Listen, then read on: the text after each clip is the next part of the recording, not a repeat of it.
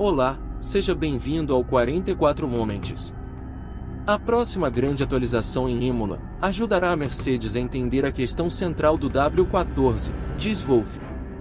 Toto Wolff, chefe da Mercedes, compartilhou detalhes sobre a próxima grande atualização do W14.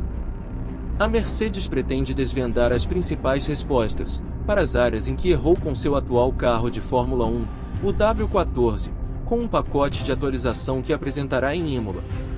A equipe admitiu que o W14 é difícil de pilotar e não está apresentando o desempenho esperado, levando a Red Bull a dominar a temporada de longe. Wolff procura respostas desesperadas, enquanto a Mercedes se prepara para introduzir atualizações para o W14. A Mercedes, que já comandou as pistas da Fórmula 1, agora luta para diminuir a diferença para as Red Bulls voadoras na frente do grid. A diferença entre o RB19 e o W14, conforme registrado em Miami, é de 30 segundos.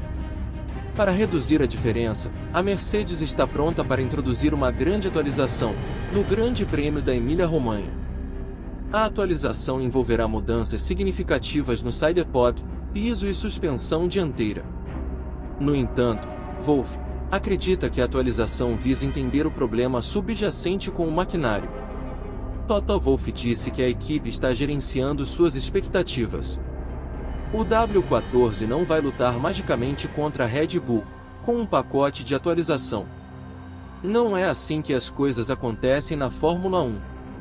No entanto, as atualizações certamente ajudarão a equipe a entender melhor o que há de errado com o carro, e o que eles podem fazer daqui para frente para melhorá-lo.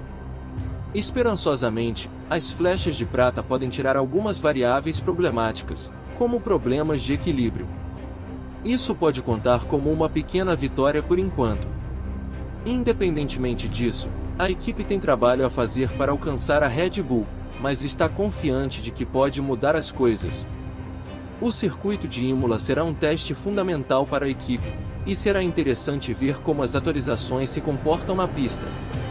Wolff sente que as restrições de limite de custo estão prejudicando muito a equipe.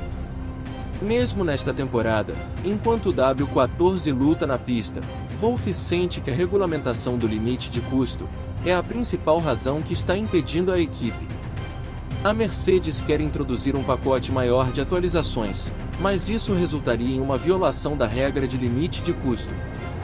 Portanto, eles precisam ficar atentos às mudanças que desejam aplicar, e eliminar as coisas desnecessárias que lhes custam muito dinheiro. Por gentileza, inscreva-se no canal. Obrigado e até o próximo vídeo.